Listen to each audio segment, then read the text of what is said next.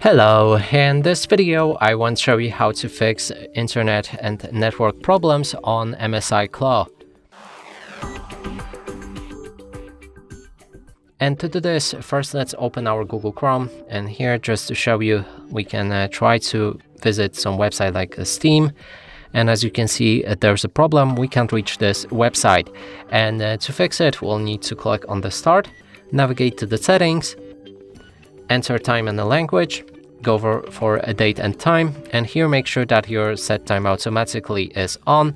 The same with uh, set time zone automatically. That way when we go back to our Google Chrome and try to visit the same website, it should work in a second because the time needs to synchronize and if it doesn't for a while you can go back to that same settings time and the language, date and time. And here click on sync now. Now we can close it and refresh the website. Let's restart our Google, our Google Chrome. and now it works fine. It just needs some time. And that's it for this video, hope you like it, please consider subscribing to our channel, leave like and a comment below.